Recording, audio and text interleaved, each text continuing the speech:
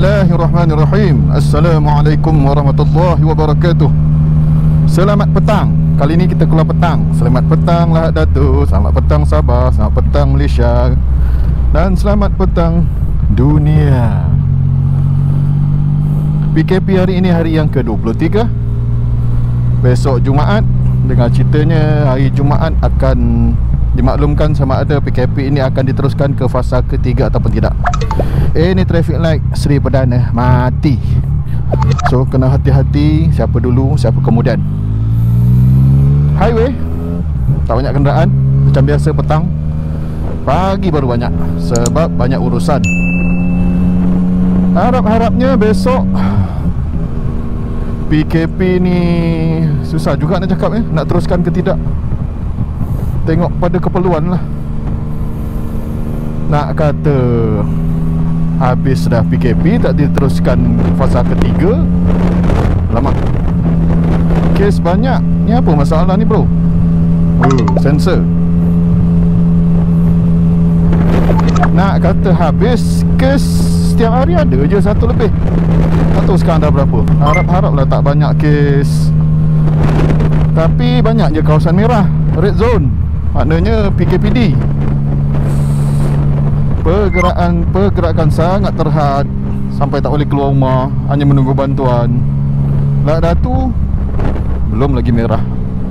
Ini traffic light Taman pertama Tak hidup juga. Tak ada orang nak hidupkan dia. Hati-hati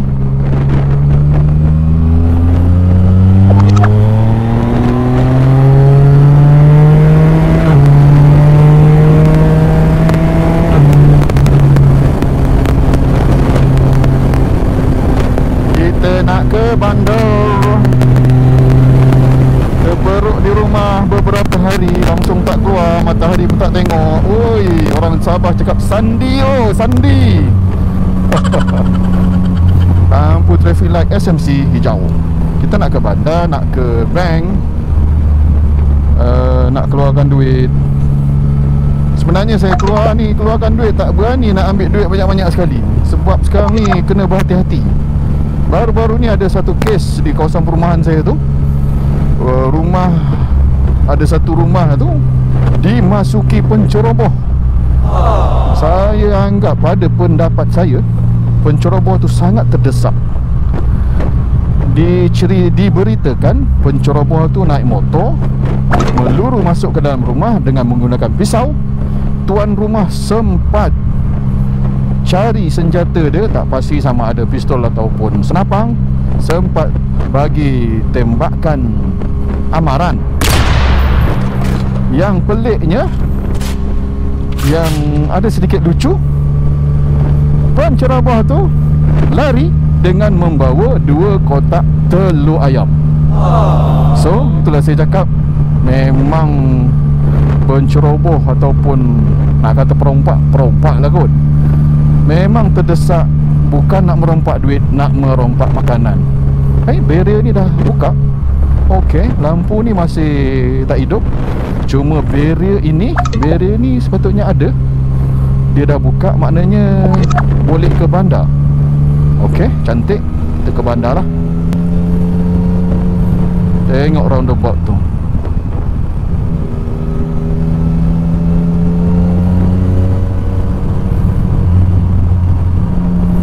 Dan perompak tadi Dapat melarikan diri dengan dua kotak telur Itulah saya rasa memang itulah. Sekarang ni Ramai orang dalam keadaan terdesak. Eh, ini tutup ke? Oh, tutup hmm, Tak boleh masuk. Hmm. Maknanya nak ke bandar Memang kena melalui jalan yang sama. Jalan depan. Jalan depan kompleks sukan. Ataupun sebelah sana. Tak pasti. Nanti kita pusing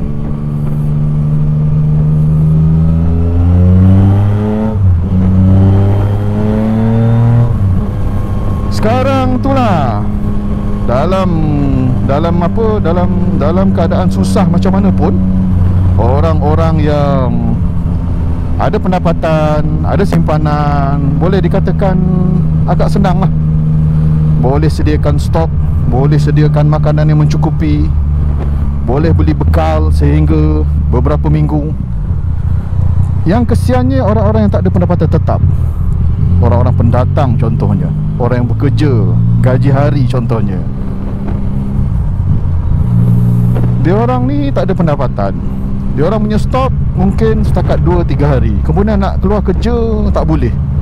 Tak ada pergerakan. Tak boleh nak bergerak. Tak boleh nak pergi kerja. Sini masih. Oh sini masih. Okey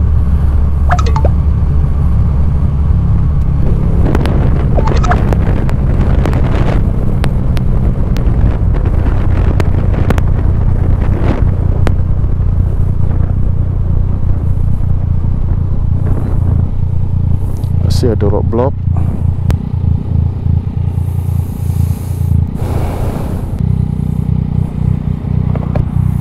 Nanti kita sambung cerita balik. Ada roadblock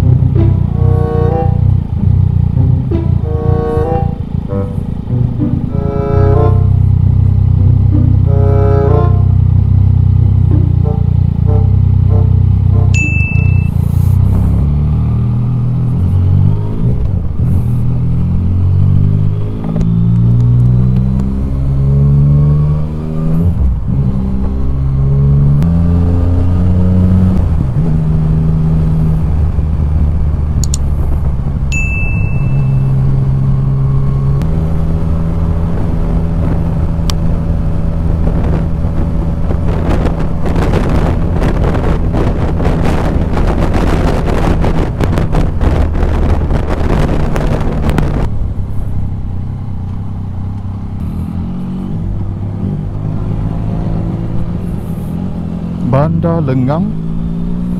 Tak ada orang sangat. Pasar tutup. Oi ada bangau. Pasar sayur tutup. Pasar Pasar apa ni? Pasar kain. Pasar kain Tutup. Oh sini buka dah.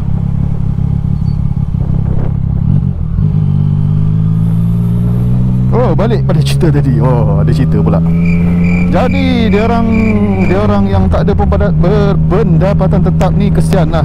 Ada anak bini untuk ditanggung Ada family untuk ditanggung.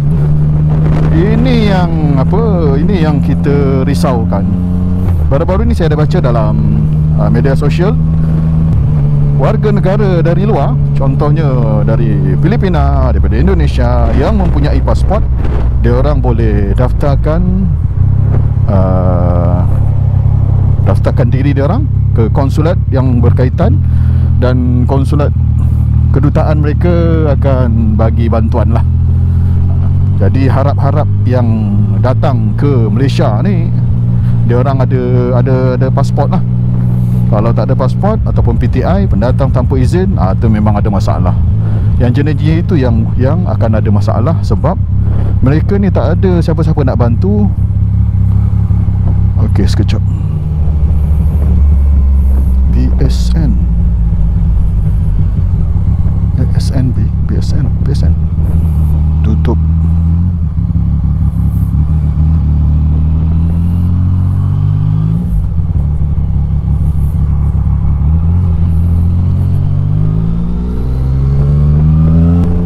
Oh, balik pada cerita tadi.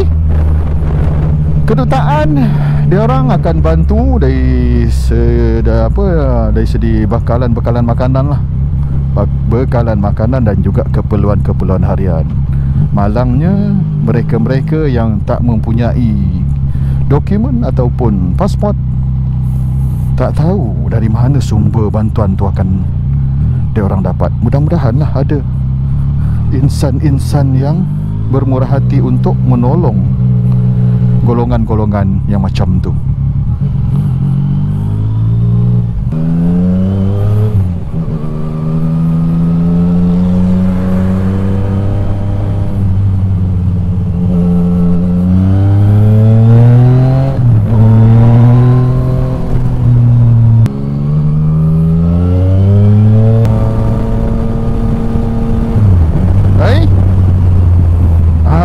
Lalu sini.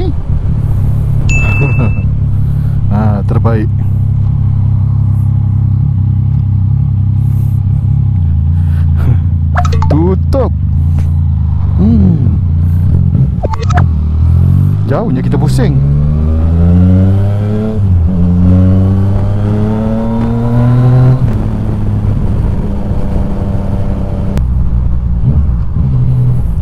Kita nak pusing nak ke Fajar? Jalan depan Simpang Bakawali Ataupun depan Bomba Ditutup. Tak boleh masuk ikut depan tu. Atau kita pusing balik masuk bandar Untuk ke Fajar. Punya jauh Fajar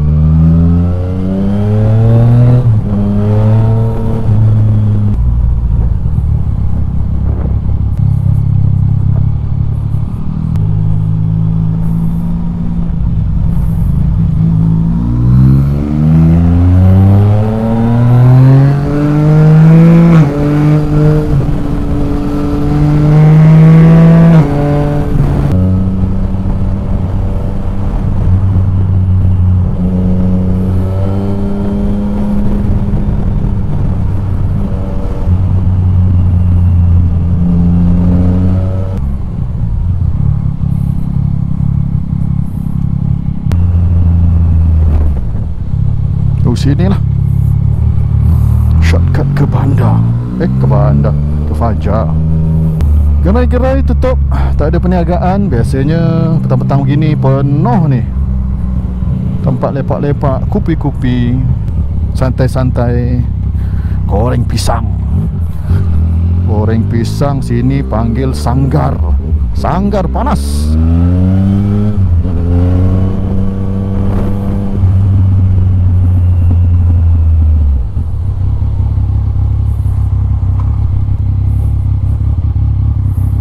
Hai, tutup juga. Aduh. Ah, pusing. Ingat shortcut sini tadi. Tutup. Banyak je jalan tutup.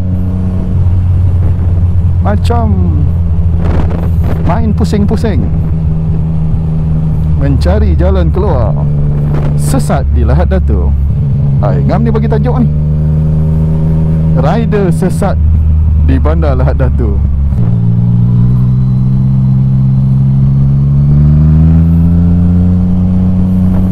Tengok jalan ni pula. Kalau tutup juga Memang terpaksa ikut depan kompleks sukan juga.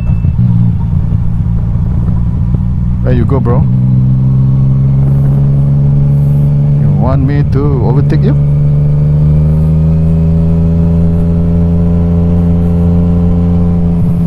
Tengok. Oh sini buka. Okey cantik. Kalau sini pun tutup Terpusinglah jauh lagi Terpusing ikut jalan sandakan Tembus tawau. Kalabakan Lak Datu ha, Baru sampai. Haha. Yang ni memang tutup lah Lama tutup. Hijau. Green Come on. Go green. Yellow. Kita ke bank. Banyak bank kita nak pergi. Restoran Mubarak. Tetap buka Untuk Tapau. Eh, kita lepak sini sekejap